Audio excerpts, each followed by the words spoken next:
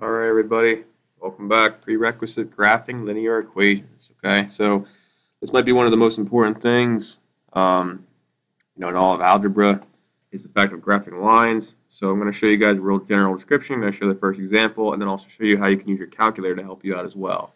Okay, so graphing equations slope-intercept form. Now, when we say slope-intercept form, we're referring to y equals mx plus b, where m is your slope and b is your y-intercept.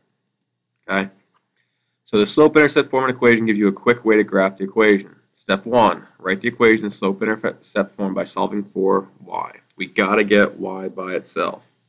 Okay?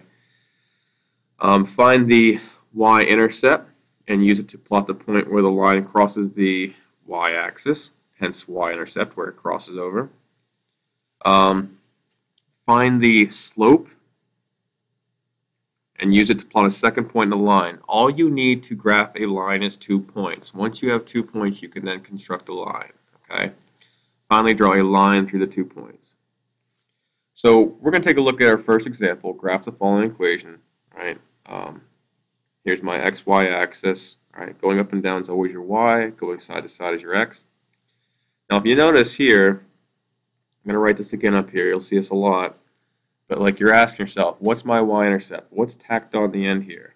Well, if you don't see anything, we could, it's safe to assume that our y-intercept is 0. Okay? Um, while I'm on the equation, let's take a look. My m, what's in front of your x?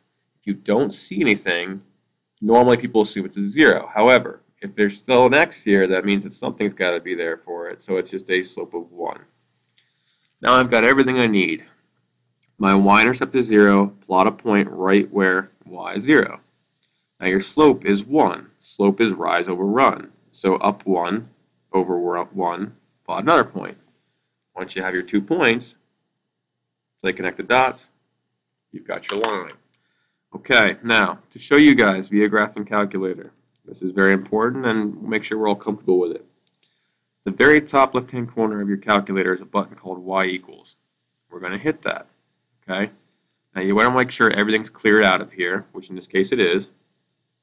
Um, and it says y sub 1, y sub 2 all the way down. Well, we want to type in exactly what we see. In this case, y equals x. So I'm back over here. The button right next to alpha is your x button. Now I've got my equation. Top right is your graph, which, wouldn't you know, it looks exactly like the graph we just constructed. Now that's all good and grand, but you do you know full well that we need to have points in order to graph our our line. So the next trick is to hit second and then graph again. This is going to pull up our table menu, which you can see right above the graph button. And now we have a list of points that we can plot. 0, 0, 1, 1, which is what we had, and there's also some more here if you need to. Okay.